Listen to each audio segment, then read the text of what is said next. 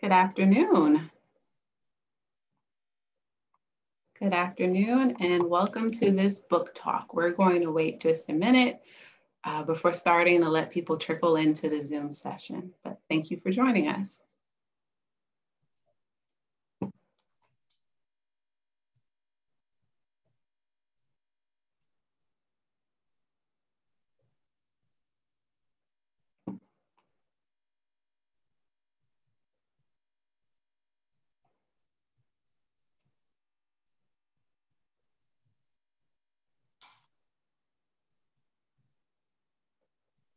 Welcome, welcome.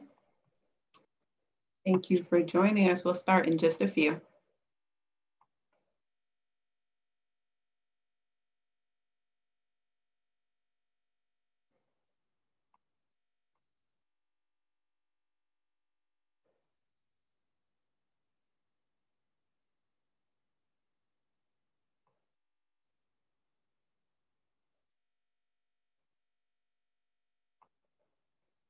All righty. Welcome. Thank you for joining us this afternoon. I'm Shanae Yvette Director of Community Engagement for the Digital Public Library of America, which is a national platform providing free access to digitized collections from 4,000 libraries, archives, and historical societies and museums across the country. DPLA amplifies the value of libraries and cultural organizations as America's most trusted sources of shared knowledge. I am so excited to welcome you all to DPLA's second book talk, which will feature a conversation between Chanda Prescott Weinstein, author of The Disordered Cosmos, A Journey into Dark Matter, Space, Time, and Dreams Deferred, and Lori Harris, Assistant Dean and Director of the Donald C. Harrison Health Sciences Library and Henry R. Winkler Center at the University of Cincinnati. To ensure this book talk is truly inclusive and accessible to all, we're using CART to provide real-time captioning of the presentation via stream text. Please look at the chat for um, a link to access stream. To turn on closed captioning with Zoom, click the CC button at the bottom of your Zoom window. Also, please direct any questions to our featured author to the Q&A box accessible at the bottom of your screen.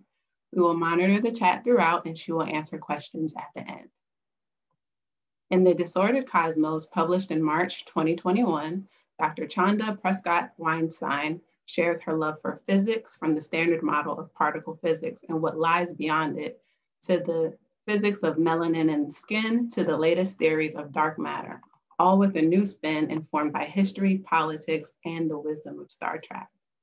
One of the leading physicists of her generation, Dr. Chanda Prescod-Weinstein is also one of fewer than 100 Black American women to earn a PhD from a Department of Physics. Her vision of the cosmos is vibrant, buoyantly non-traditional, and grounded in Black feminist traditions. It is an incredible honor to welcome new voices to the DPLA community and create a space for two dynamic Black women in the sciences to be in dialogue and dive deeper into Dr. Prescott Weinstein's bold new approach to science and society, beginning with the belief that we all have a fundamental right to know and love the night sky. Lori, take it away.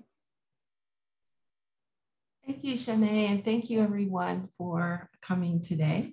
Um, good afternoon, and thank you, Dr. Prescod-Weinstein, for being with us today to talk about your new book. We're very excited. Um, I wanted to begin by just checking in with you. Um, since last year, I, I, keep thinking what jumps in my head is the chaos theory, right? Applying it to what many of us have been sort of watching and experiencing, um, and on some levels, um, attempting to forget uh, the last several months. So, wanted to hear how this last year has been for you and how has it um, impacted your year and informed your work and the publication of the Disordered Cosmos? Well, first of all, I just want to start by saying thank you, uh, everyone at the Digital Public Library of America for who was involved in organizing this, and thank you for hosting, and thank you, Lori, so much for for being in conversation with me. Um, as as you probably know, because you, you've read the book, I have some really lovely words for librarians and archivists at the end. Um, so I'm a big fan. uh, you know, definitely there are like stages of grief. And I think we've all been going through like multiple versions of stages of grief. So I think I, will start with the, the last part of the question, specifically about the book. When you're writing a book like this, you're spending a lot of time thinking about the audience and you're thinking about the conversations that you're going to have with people about the book. And assume that those conversations are going to be happening in person, that you're going to be in physical rooms with people doing readings, going a book tour, that kind of thing. And so one of the, the versions of grief that I had to go through um, in the fall was accepting the fact that I wouldn't actually have that experience and that it was actually going to be much more of an uphill battle to get the word out about the book.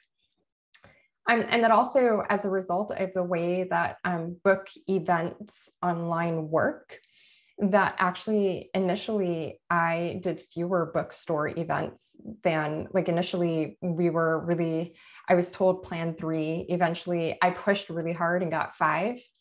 And so I had all of these things in mind about even like Black bookstores that I was going to visit that I, um, like Eso Won Books in my hometown of Los Angeles.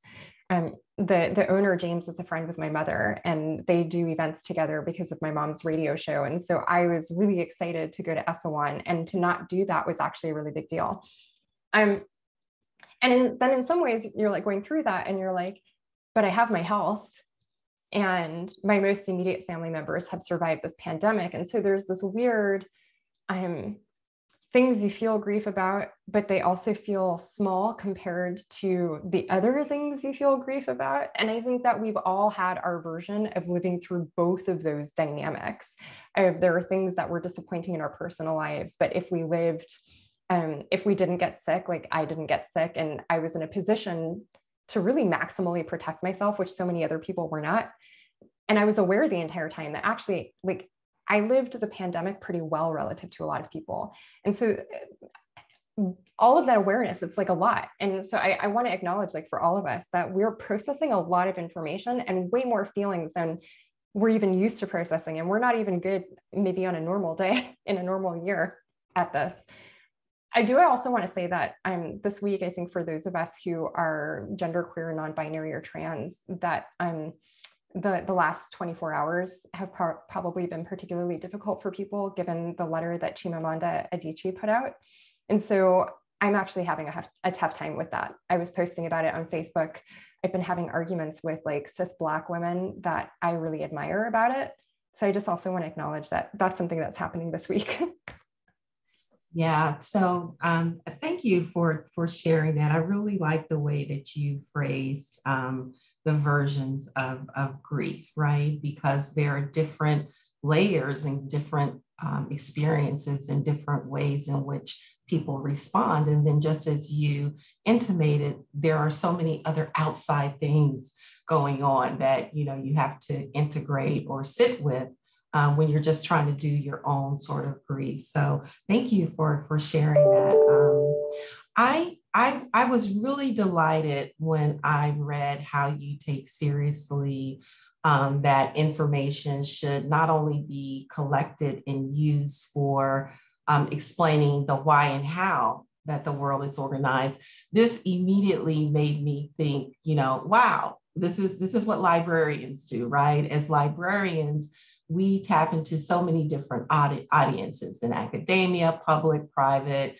Um, we deal with researchers, scholars, students. So, who was the audience you wanted to reach with the disordered cosmos? And I see you kind of smiling. So, I'm, I'm smiling partly because I'm one of the things that I've learned from reviews. And I will say actually that I don't read a lot of the reviews, but my spouse does. He reads all of them. Mm-hmm. Um, and then occasionally says, okay, you can read this one. but one of the things that I've learned is that reviewers often imagine an audience, like a single audience.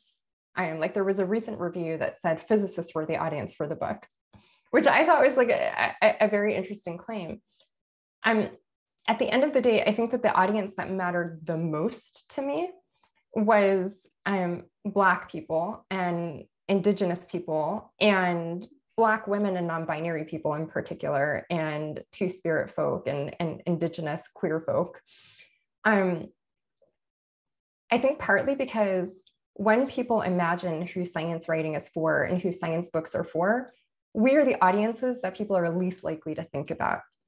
And so that was the audience that I tried to think the most about. Um, and it was the audience, and, and, and then I'll say, like, broadening out the umbrella more broadly, I wanted to write to audiences who think that science writing isn't for them or who have been told implicitly or explicitly that science writing isn't for them. So I wanted to write a book for people who were like, maybe science, I, I like science, I think, but I'm, science isn't for me. And, and, and that's kind of a reflection of the conversations that I would have with folks. People would be like, oh yeah, tell me about quantum mechanics or like, tell me about like particle physics, or I saw this thing the other day about like the stars. Um, this narrative that we have in society that Black people need to get be gotten interested in science mm-hmm. as if we are not already is, is, is garbage, right? And, and so, but at the same time, As I write about in the book, there's an idea in science writing of what the voice is supposed to sound like. And that's based on who they think the audience is. So I think at the end of the day, the book is for everyone, but there were definitely audiences that I specifically had in mind. Um, and I just want to thank you for uh, uh, being very candid and honest about that audience, because it's not very often that people will step up and say, this is for my Black people. This is for my queer folk. This is so. Thank you, thank you for that um, that honesty. Um, you you mentioned properly citing um, like hidden references by saying their or her names and um, the unsighted labor and lack of acknowledgement of researchers and women, uh, those who, who are referencing the work and those who are citing the work. And, and those comments sort of intersected with your comments about Isaac Newton, the Isaac Newtons of the world, right?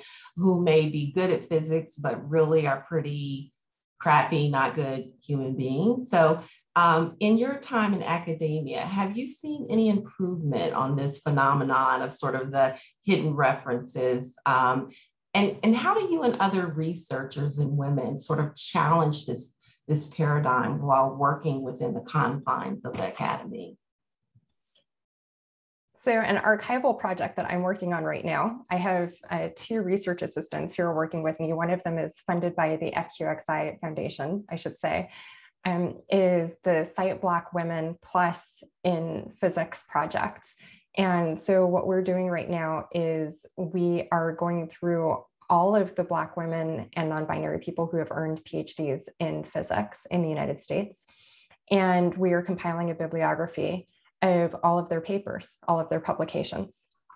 Um, and the plan is to make this publicly available.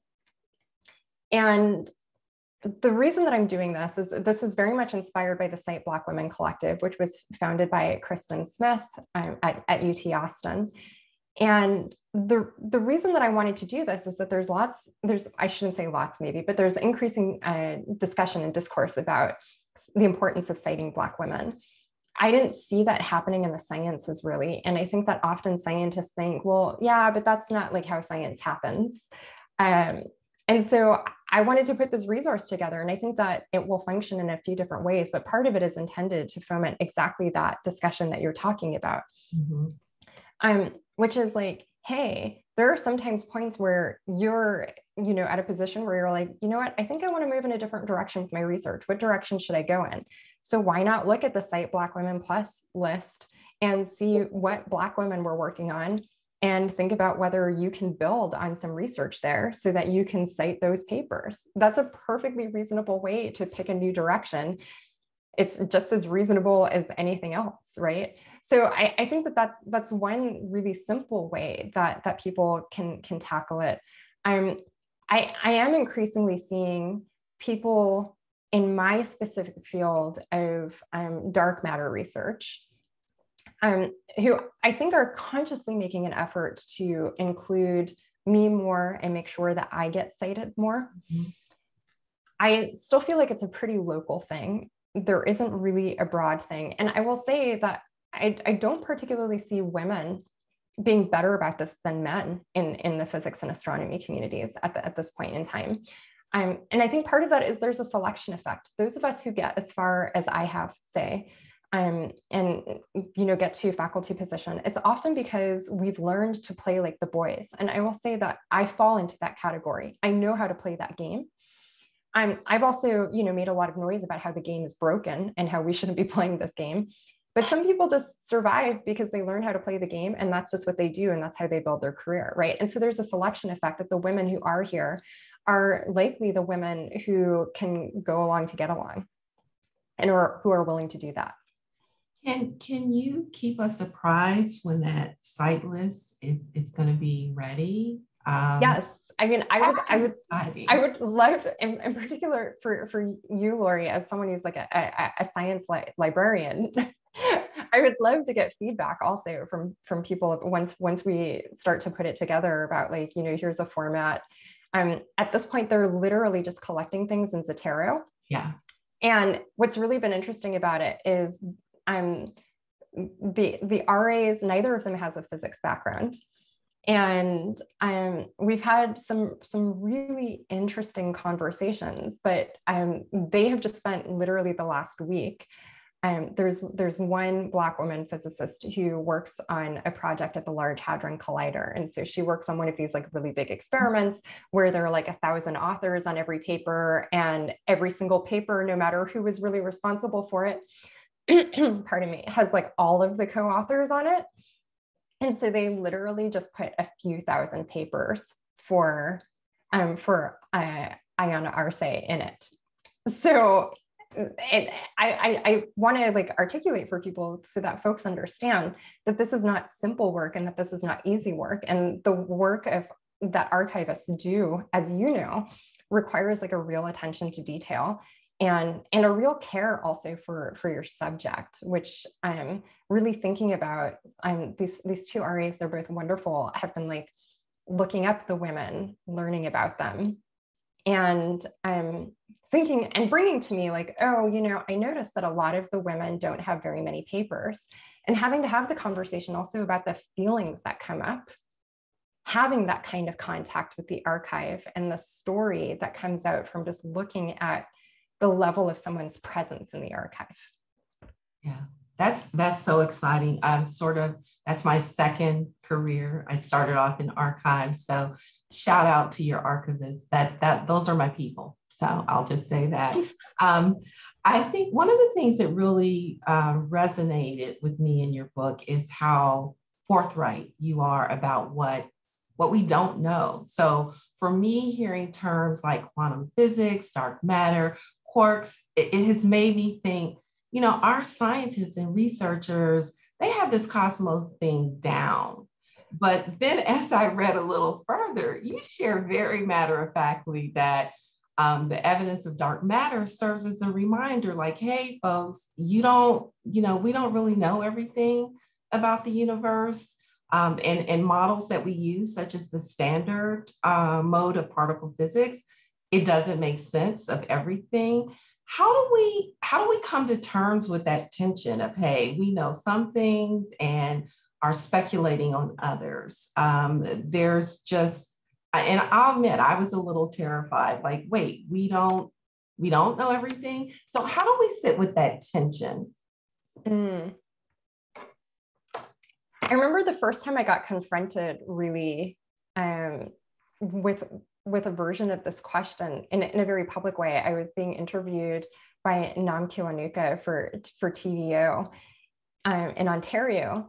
And Nam said, okay, so if you're saying that we, we don't know everything, then what do we say to people who don't believe that global warming is happening? Right. And so I think like the important thing is, is to be clear that there are actually a lot of things that we do know. and that that there there are some lucky i guess i'll put lucky in air quotes there are some instances where the data is very clear and so for example climate change is one of them we're really clear. We are all personally collecting that data. Like you know if you're from california you know what's up the whole state's been on fire for like a couple years straight now. We're about to like go into like now you get a couple of the non-fire months and then you have fire months and that's most of the year right? Um, so one of the things one of the aspects of this and, and writing about this is the, the delicacy of being honest with people about what science is and what the process of science is without undercutting people's confidence in these important pieces of information that we do have that we need people to accept so that we can address real policy, real life, real world problems, right? Um, at the same time, you know, one of the things that we benefit from in particle physics is that pretty much nothing that um, we're working on right now is a matter of life and death. Mm. I say pretty much because, you know, medical physics is actually basically uh, something that lives at the intersection of like nuclear physics and health science and particle physics.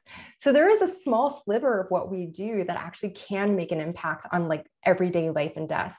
Um, if you've had an MRI, thank nuclear physics researchers.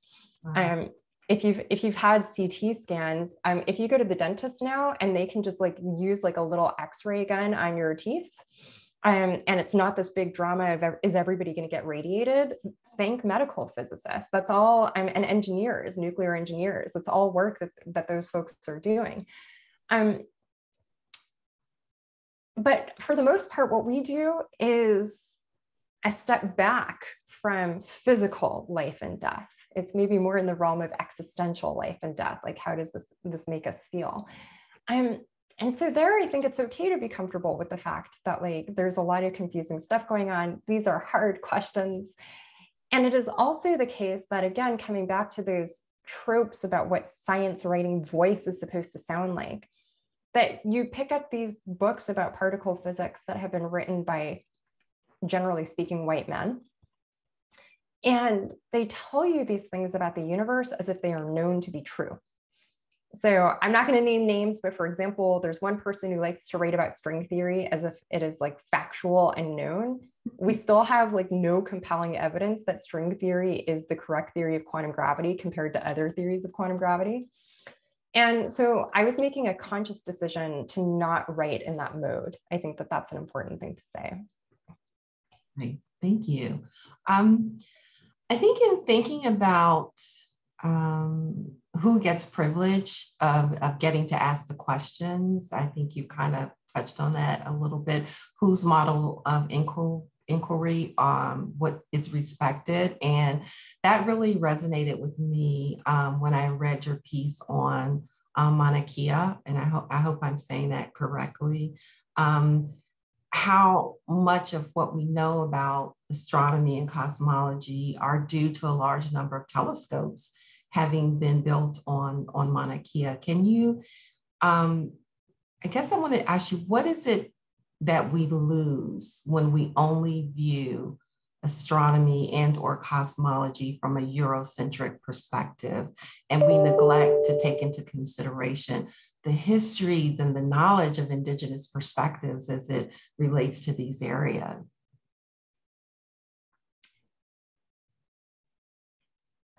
Going back even to, to what I was just talking about in terms of like what are our motivations and our interests, right? I'm why do we want to know about the night sky? Why are we looking up at the night sky? Why are we asking these questions? Why are we putting so much time into pursuing answers to these questions? And there are different sets of answers. So there's the very practical answer, which is that often the, the technologies that we develop in order to pursue these questions become useful both to industry and to the military. Um, and then also sometimes the process of refining these techniques involves taking military technologies and refining them.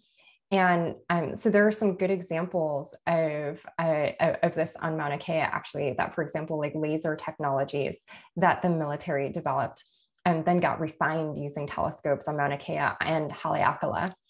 And then that information gets passed back to the military and gets used for other purposes. So that's one reason. And that's probably, if we're being honest with ourselves, a major reason that today money comes in the direction of astronomy.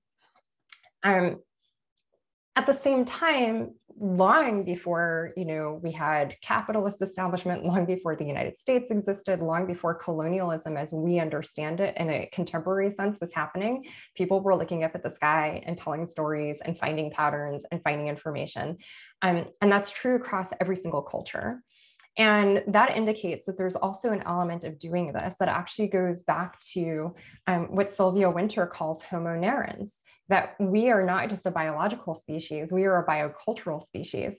Um, so uh, for folks who don't know Sylvia Wynter, she's a Black woman, a philosopher, I would say theorist of science, theorist of literature. She's, I, I don't know, she's a genius. Let's just put it there. Um, and she really forcefully makes the point that we are not just biological, that we are storytellers. And so I actually see that this work that we do of looking up at the sky as a very deeply human activity. And so then when we think about what perspectives matter in engaging in this very deeply human activity, it can't just be one cultural context the other cultural contexts have to be part of the conversation. And if it is the case that we want to move past um, you know, military industrial complex motivations for doing the work that we do, then what we come back to is the humanist impulse for why we do this work. And if we're thinking about it through a humanist framing, then the idea that we do it by any means necessary sacrificing culture, sacrificing identity, sacrificing good relations between people no longer makes any sense. Mm. Yeah, I, I, um, I'm going to stick on this just for a little bit because I was thinking about um, how in the book you talked about um, when this initially came up for you, you turned down an opportunity to to go there can you just talk a little bit about that? I, I just, I just thought that that was just um, amazing. So I just wanted to hear a little bit about what your process was in, in, in thinking about that and making that decision. Yeah, I realize I should contextualize even these questions about Mauna Kea for, for people to, to better understand them. So thank you for the, the follow-up. Um, so Mauna Kea is uh, one of the best places in the world to see the night sky. It's at a high altitude, it's in Hawaii. Um, and uh, being at a high altitude means that it's above some of the layers of atmosphere that get in between us and looking at what's outside of Earth. And so that's like a really obvious reason why you might want to put a telescope there, just to kind of make the like, these are the physical properties of the environment. It is also a place that has long been considered um, a sacred place in Hawaii by Kanaka Maoli, um, Native Hawaiian people. Um, and so it's actually Mauna a Wakea. So it's actually the place where um, the earth meets the, the father sky god Wakea. So this is a very important place. It is also a place that has at points been used as a burial ground, um, but not with the you know Christian style markers. Um, and so there is this feeling of like it's a terra nullius i think um, from the point of view of um, people who colonized hawaii. It's a terra nullius there's nothing here. We can do what we want with it.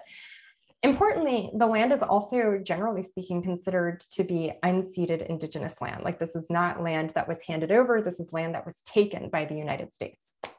So that's the context for for for this discussion. When i was um, I was starting my junior year of, of, of college. I was offered an opportunity to take a year off and go spend a year working as a staffer at a new telescope on Mauna Kea. And it was a job that would have paid, I think at the time it was like $50,000, which was like, to me at the time, like a million bucks. My mom raised me on half of that. And so just like the thought of that amount of money, right? Um, and it's also the kind of opportunity that if you do something like that, it can write your ticket. Um, you do something like that and you get into any graduate program you want, even if your GPA is kind of so-so, which mine was.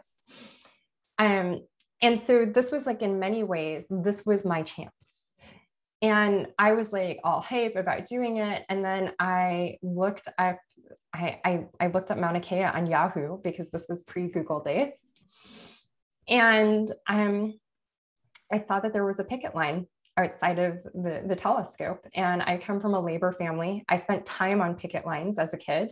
Um, and in fact, that was, um, we had just wrapped up um, the Living Wage Campaign sit in at Harvard, where I was an active um, leader in the tent city. And I was one of the people who had first proposed that we have a sit in and take over the president's office.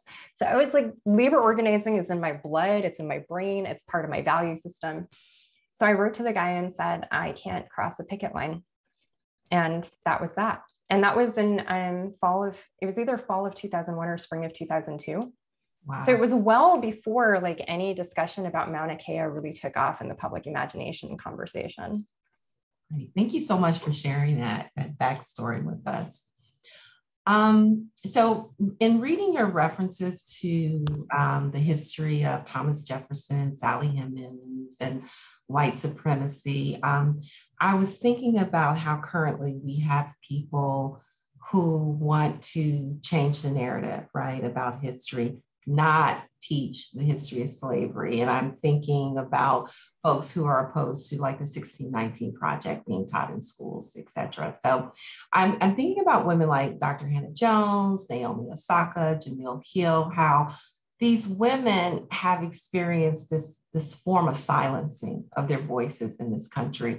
And was wondering, how do you think movements like me Too, and I know this is a broad question, but mm-hmm. Me Too, Black Lives Matter, how do those types of movements help to highlight these attempts to, in some ways, disempower Black women's voices? And, and have you experienced this in your own academic professional career, this, this attempt to silence or disempower your voice? Something that we in the academy have seen a lot of over the last few years is um, organizations that are highly funded by billionaires, conservative billionaires like the, the Koch family. Mm-hmm. Um, I, and the specific one I'm thinking of is campus reform that will um, that basically trains students at universities to become um, narcs and to seek out what they can who they consider to be left-leaning professors and find things on social media and take them out of context um, or record people in classrooms and take those recordings out of context. And basically, the site functions as a feeder for places like Fox News and, and other things. And, and we've seen people have gotten fired um, because of reports that basically start on this website.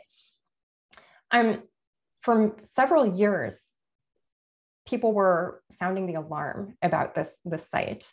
And in fact, in the early days, they were testing out these techniques specifically on Black women. And um, a recent study by the American Association of University Professors finds that um, Black people are disproportionately targeted by the site, Black academics. So um, I was one of the, the Black women who was targeted in um, like basically three in a row um, uh, in 2015. And once something like that happens to you, it completely changes your life. Um, you have to have home security um, I was given guidance about how to walk down the street safely. I can't wear headphones in public anymore. Um, there are all of these like these these little things. Um, I get hate mail. I get death threats. Um, it's it's a conversation that I had to have with academic institutions that were were um, making me job offers. Um, people get people who work with me get emails about me. Um, get um, request to fire me, request to sit in my classroom to make sure that I'm not indoctrinating the children. I remember, I think like my favorite one, I'm laughing about this, but like my favorite one was somebody called my department chair and said, like, I need you to make sure that she's not teaching the stuff in the classroom. And I had to write to my department chair and be like, yeah, we haven't actually haven't had much occasion to talk about like the history and origins of American anti-Semitism in my stellar astrophysics class, right? um, so that that that's like a real thing that that's happening. Mm-hmm. and the same people are running around screaming about how free speech is under threat from what they're calling in big air quotes critical race theory because they don't know what critical race theory even is or what it means. But they're like critical race theory is threatening free speech. And i'm like you guys are literally trying to pass laws so that we can't talk about critical race theory? So now tomorrow Juneteenth is going to become a federal holiday, and there are going to be places where teachers can get in trouble for talking about what Juneteenth even is, right? Like, so you know, when we talk about who respects America and who respects like the documents of America, I have real questions about people who are passing laws or trying to pass laws that restrict free speech, mm-hmm. telling me that they're pro America. Like, yes and no. Uh, there was a great, like, if anybody's ever seen Mean Girls, there was a great meme that was circulating yesterday that was like, so you agree that racism is a, a basic tenet of the United States, right? Like they're actually committing to that statement by, by making these claims. And even meanwhile, I'm sitting here thinking, okay, this video right now is going to be made public. How is this going to be cut? Yeah, right? Exactly. Um, so I do think that there's there's that side of it, which is that we really live under threat. We really live under fear. Um, those death threats are no joke. Mm-hmm. Um, and you know, few, very few of us are like rich people who can hire bodyguards. Like I can't afford that, right? So like we're generally speaking on our own with it too. Um, it's like us and campus police, which like involving campus police is fraught for for a variety of reasons. The one thing I want to say about this critical race theory debate is I think it's a little bit of a cultural self-own by um, the people like losing, like just screaming about critical race theory. Um, thanks to them, everybody's talking about critical race theory and what it is. CNN had a beautiful explainer of what critical race theory is um, posted on their website. The Washington Post has journalists writing about here's what critical race theory actually is. As someone who uses critical race theory in my Black feminist science, technology, and society studies work, thank you for making sure that people are actually talking about critical race theory. And I love the fact that, like, you know, people are talking about what's the difference between critical race theory, critical social theory, critical theory. What is Theodor Adorno's uh, relationship to Kimberlé Crenshaw's intersectionality? Let's get that clear. We're getting that clear in public now. And in that sense, they have accidentally democratized what was previously kind of an ivory tower conversation. So it's a little bit of a cell phone. They may be winning at the legislatures right now, but I think the truth is is that they're losing in the public conversation. Yeah, I, and I would agree. And um, just want to say, I'm just sorry that you have to deal with that targeted, crazy mess. That's that's scary on a lot of levels. And I have a cousin named Ray Ray who's 400. I just, I have to say, there's, I don't know if people have been watching that Michael Che on HBO Max. He has, he has like a sketch show, and in the last episode, he has like the sketch about a homegirl app where like you don't want to be a snitch who calls the cops. So you just pull out your homegirl app, and a homegirl will sh- show up and take care of business. And in the middle of it, he they have the, him spliced talking about things in his family and his community. He's like every family has a woman yeah. who you can call. And I turned to my spouse and I looked at him and I was like, I think I am that person in my family.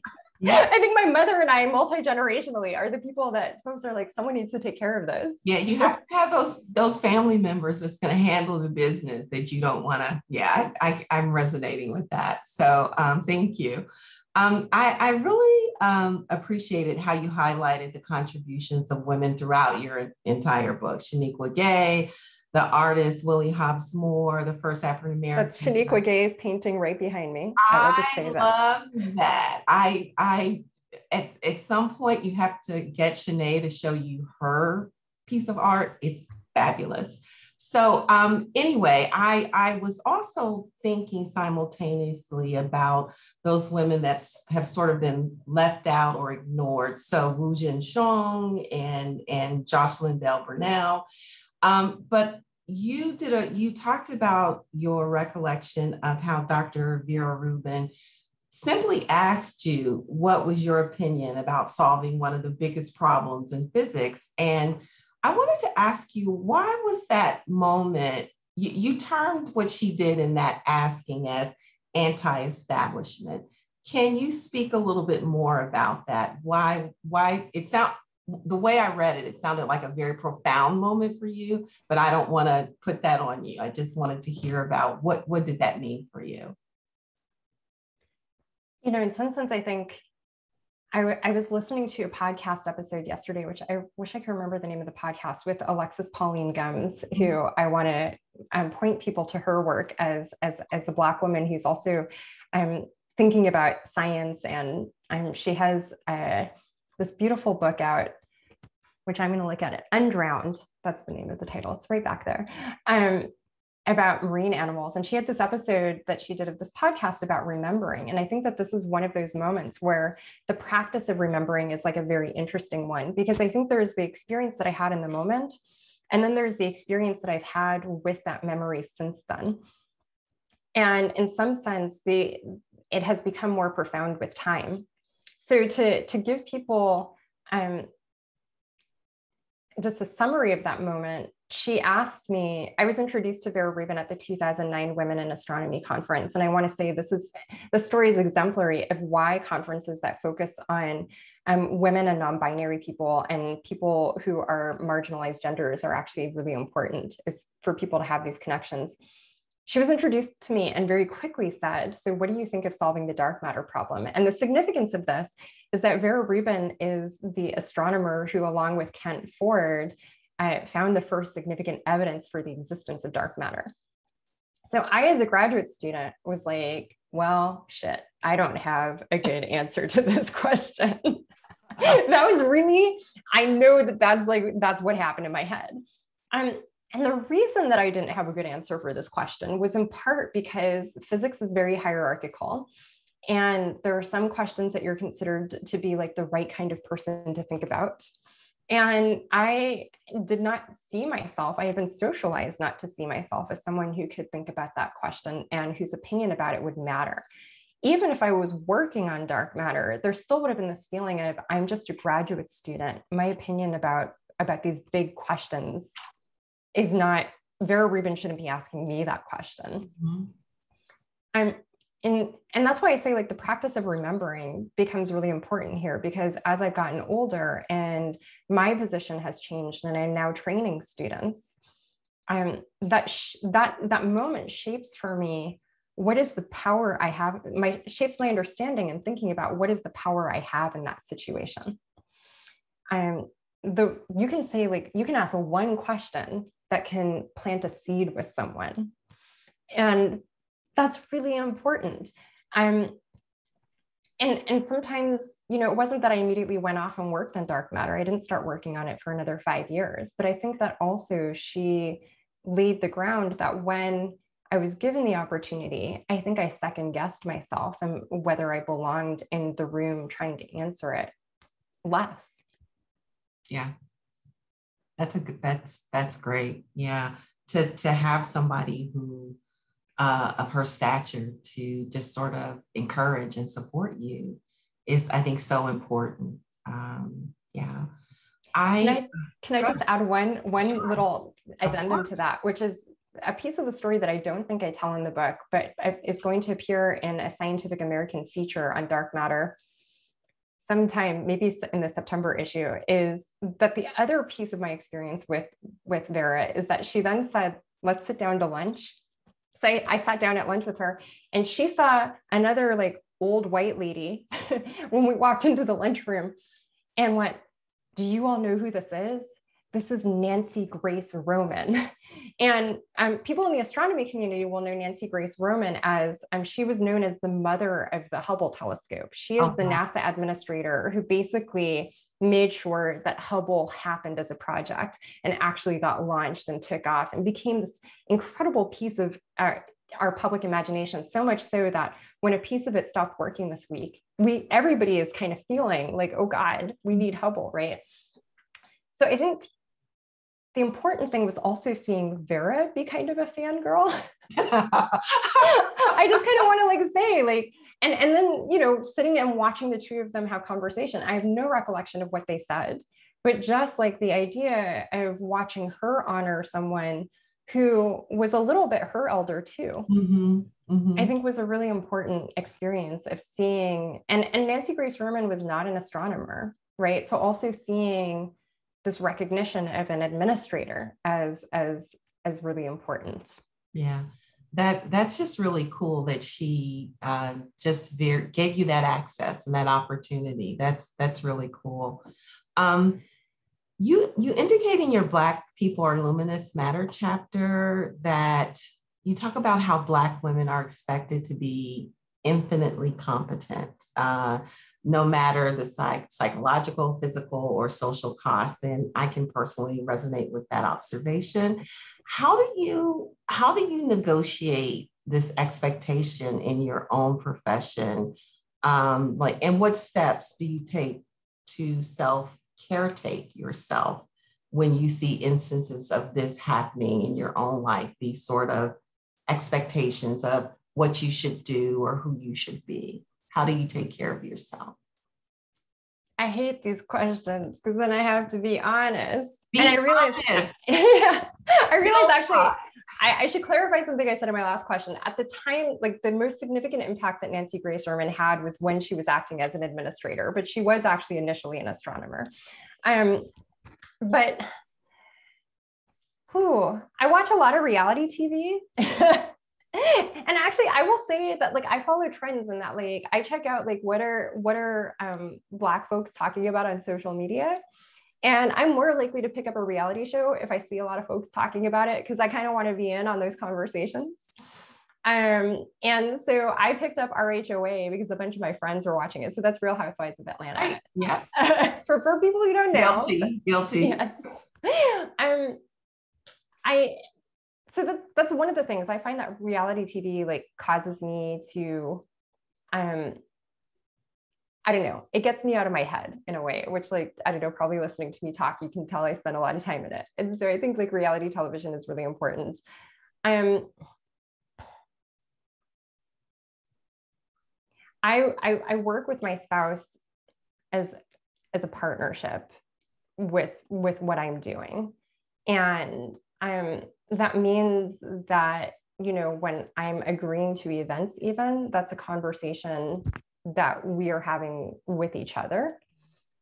Um and that might seem like okay well that's not about you. That's maybe about like caring for your spouse but that you know taking care of my relationship with my spouse is part of um you know making sure that like my house is in order literally right um, with and and the same thing I, I put in the work to maintain my relationships with my beloveds in my life and i think that that is that's a really important aspect of it. I will say that in a lot of ways i think i'm probably not like a good role model on this front. Um because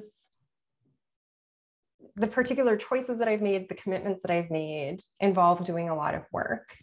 Um and in a lot of ways, I'm okay with that. There are certain things that I wish I didn't have to deal with. Like I'm, you know, when we talk about under resources, under resourcing universities and under resourcing academics, I'm when I was at Harvard as an undergraduate, all of the professors had an administrative assistant who helped them with paperwork and stuff like that.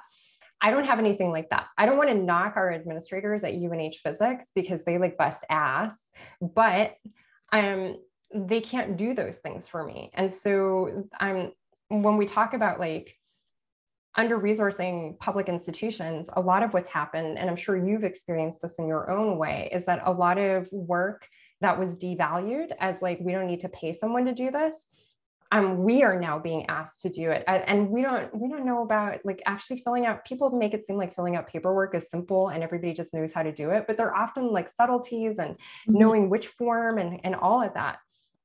Um, so I will just say that one of the ways that like self-care can actually be made difficult is that in taking any of these things on, I'm also taking on the administrative burden that um, a generation or two generations before me, um, a white man would have had someone to relieve that burden possibly in the form of like a stay-at-home partner who was taking care of everything but also probably what would have been called at the time a secretary. And I don't live in that world. Um, so that I think that's one of the challenges that I face in terms of self-care is that um, it's not just me getting to do the work, but I have to do all of the work to make doing the work possible. Thank you. Um, I'm just going to take a moment to remind folks to please throw your great questions in the chat so we can get to those in a in a few minutes. Great. Thank you. Um, can you can you talk a little bit about this? So one of the things when when I get into sort of uh, topics that I'm not so familiar with, and, and Shanae and I were talking about this. Now I see everything as it relates to like quarks and and quantum this and that. It just catches my eye, and I came across um, this conversation about this new discovery by Alexia Lopez, um, this doctoral candidate in cosmology at the University of Central Lancashire. Are you familiar with that? And just was wondering why why is this discovery important and and what are some of the things we can we can learn learn from it? So also you just asked me a question about the one thing where I can be classed as a conservative. Okay. Um, which is I'm all for like this is a tantalizing hint. Let's see what happens next. Mm-hmm. Um, but I need a lot of data before you try and convince me that our model isn't working correctly. Um, so I'm interested in, in the results from from DESI and I'm, and I should say that the analysis was was led by one person, but a lot of people's work went into that data collection. Um, and, and I should say like there's you know a real tension there between like individual credit and recognizing that nobody does these things by themselves. Um, so that's not to undercut like the individual contributions, but to say that there are a lot of other people involved too. Um, yeah, so my my take on that story is like probably not very exciting, which is like okay, find me another one find me find me more evidence that this isn't um so first of all i want a second team to analyze the results and see if they come to the same conclusion. Very nice. That's like step one is it has to be a reproducible result that is verifiable by an independent team. Um and then and then the next thing is is like okay does this really indicate that our models are wrong or is there some Gaussian distribution where things are typically like this, but occasionally you're going to find things in the tail that are a little bit different? Um, one of the tensions that I have around doing science communication is that for reasons that I think are pretty obvious, the science media really likes to be like, thing, maybe everything's broken, revolution in science. Mm-hmm. And it's pretty much like that every week.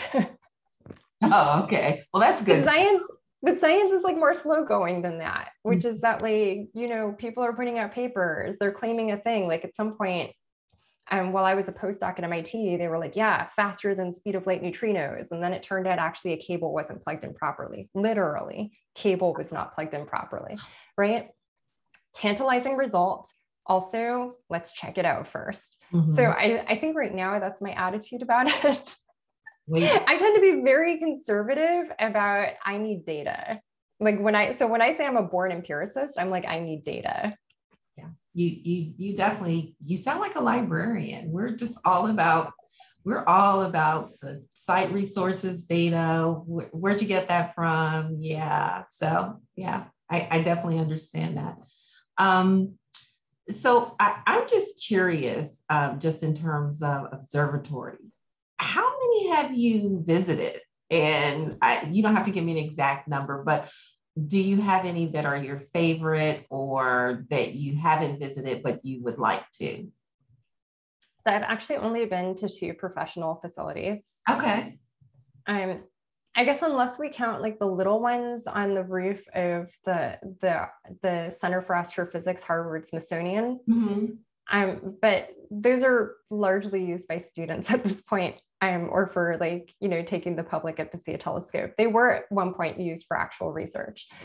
Um, so I have been down to the Magellan Observatory uh, in Las Campanas in the Atacama Desert in Chile, which I write about in the book. Yes.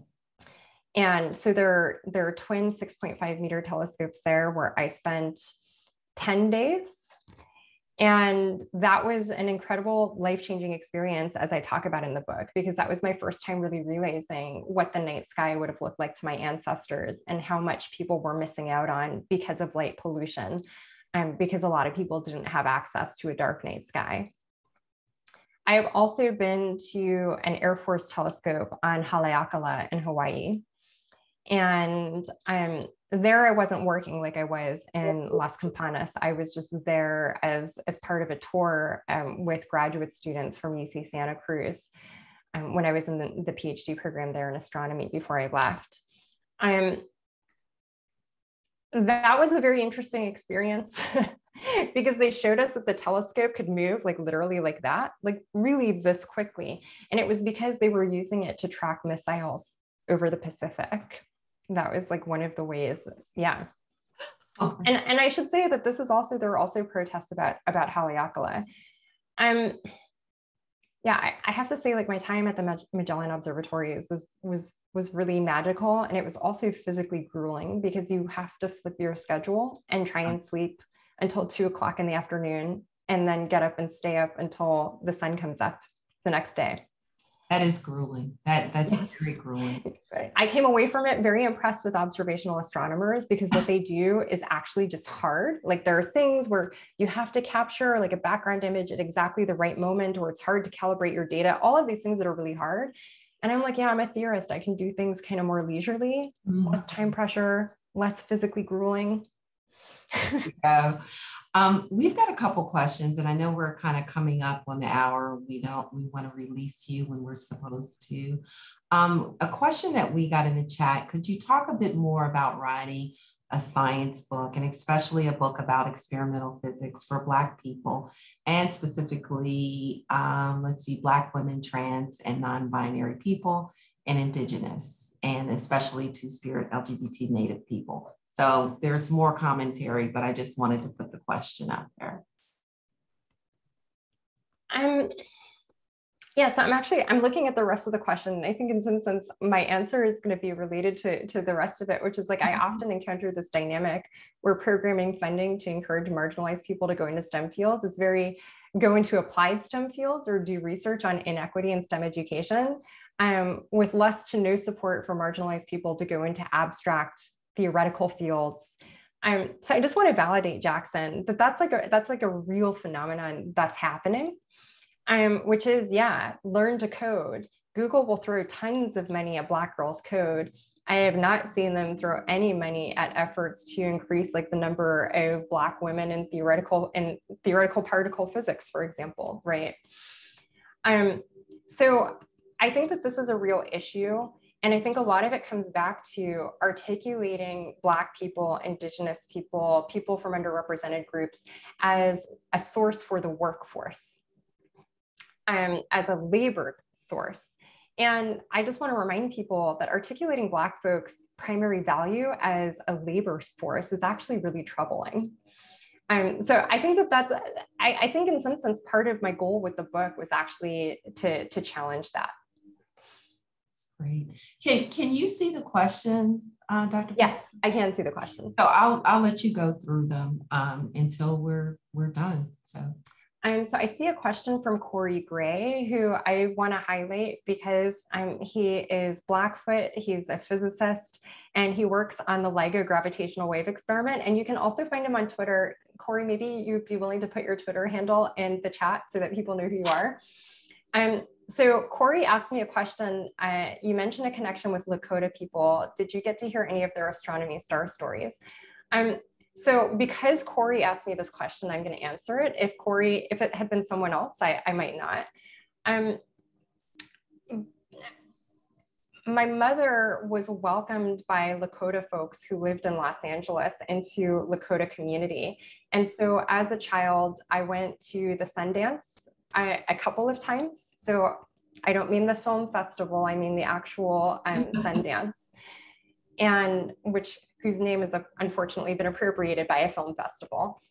And so I did see and hear a lot of things. I will say that generally speaking, I don't share that publicly because it's not my my place to share what what I was offered. Um, but I will say that so much of the perspective that is in the book is shaped by the time that I spent with Lakota folks and with other people from different indigenous communities. Um, but that is necessarily like the spirit of that experience, I think, is in the book for me because it was probably my most significant and spiritual influence as a child. Much more so really in many ways than um, Jewish spirituality. So I'll just, I'll say, and Corey, I'm happy to answer questions for you directly about it, but I did want to address that. Thanks, Corey, for the question. Um, Shanae, did you, where are we in terms of time? We are right at time, so I'll bring us on home. If you haven't read The Disordered Cosmos, we hope that this incredible talk inspires you to go and buy a copy for yourself and other inquisitive stargazers and cosmological dreamers in your life. Uh, visit Dr. Prescod-Weinstein's work. We'll drop the link in the chat and keep in touch with her. I want to thank you Dr. Dr. Oh, I just like, oh my gosh, like having a woman with a puff. And we, we name dropped Ray Ray and Real Housewives of Atlanta. That's never been, never been done at a DPLA event. And I just appreciate the lack of code switching and you all bringing your full self to this talk and really sharing how science problems are indicative of the problems in the rest of our society. Um, I particularly resonated with the pop culture references throughout the book. So it was awesome to hear today your take on the critical race theory debates and cancel culture and other uh, current events. And thank you, Lori, so much for asking such thoughtful questions. I feel like this was a match made in the in the heavens. Yeah, I just want to say thank you, Lori, for the questions. I'm sorry that we didn't get to the question about music and songs, but I'm going to answer the, the, the question um, I just want to recommend everybody check out Yves Tumor's new song Jackie that just came out on Tuesday. It's so good.